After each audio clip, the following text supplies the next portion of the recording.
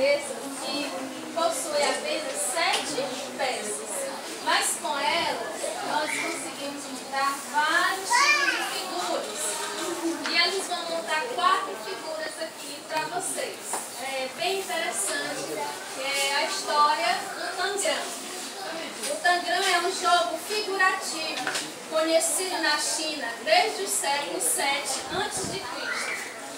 É um jogo educativo motivador pelo desafio que desenvolve a criatividade, exercita a paciência e libera a fantasia.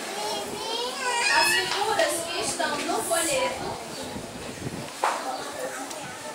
são sugestões de formas que podem ser montadas, mas a criança fica também livre para usar a imaginação e a criatividade enquanto peças do também.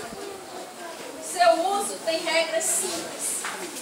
Todas as figuras montadas devem usar sete peças. As peças não podem ser apoiadas ou colocadas umas sobre as outras, mesmo que parcialmente.